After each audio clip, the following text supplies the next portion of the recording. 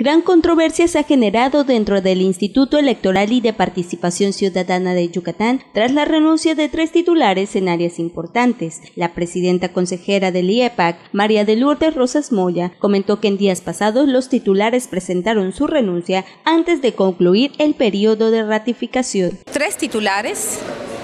eh, renunciaron de manera voluntaria, tenemos la documentación, antes de iniciar un proceso de ratificación. El reglamento de elecciones del Instituto Nacional Electoral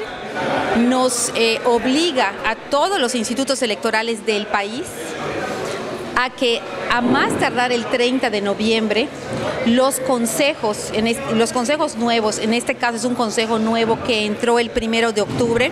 ustedes recordarán que entraron tres consejeros, eh, eh, ratifiquen al al secretario ejecutivo, a los directores, a los titulares de las unidades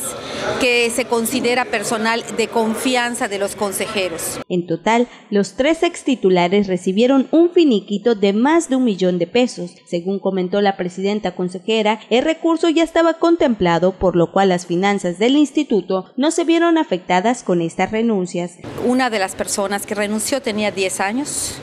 eh, en el instituto, otros tenían cuatro y otro tenía cinco años. Eh, de acuerdo a los cálculos, esto daba un total de un poco menos de 1.200.000 pesos, eh, de acuerdo a lo que las condiciones generales de trabajo del instituto establece. En cuanto a la protección de los derechos laborales de los trabajadores, y es importante mencionar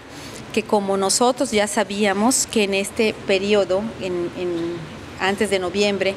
íbamos a probablemente ratificar a todo el personal o probablemente no, ratificarlo, teníamos que tener un, recurso en presupuestado desde el año pasado para noviembre para que en un momento dado pudiéramos cubrir con estos gastos. Además, la entrevistada comentó que tanto los consejeros como los representantes de partido fueron informados sobre estas renuncias y sobre todo de los recursos para la liquidación del personal. Este recurso salió en gran, una gran partida, digamos el 80% de este presupuesto de liquidación que ya teníamos y un 20% de ahorros, pequeños ahorros, realmente no eran ahorros, era una partida de, la, de campaña institucional y otra partida de ahorros en cuanto al impuesto, eh,